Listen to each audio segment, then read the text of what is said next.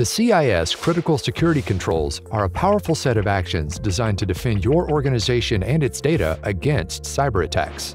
We know that every enterprise is different, but whatever your size or industry, the CIS controls will work for you.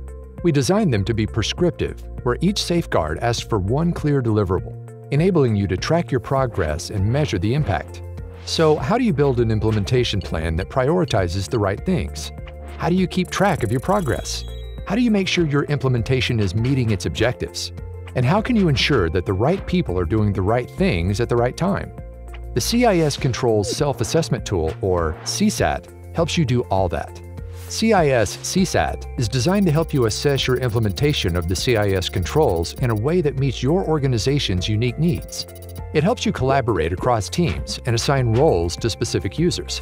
Choose which safeguards to include in your assessments Upload documentation as supporting evidence. Track your assessments over time and view your progress in easy-to-read graphs. Monitor your alignment in several key industry frameworks. You can even anonymously compare your results to peers in your industry. It's all about helping you prioritize your cybersecurity plan, execute it effectively, report on your progress, and identify areas that need extra attention. A CIS-hosted version of CSAT can be used for free by any organization. Or if you become a CIS SecureSuite member, you can take advantage of our multi-tenanted on-prem version called CIS CSAT Pro. To learn more about CSAT, visit our website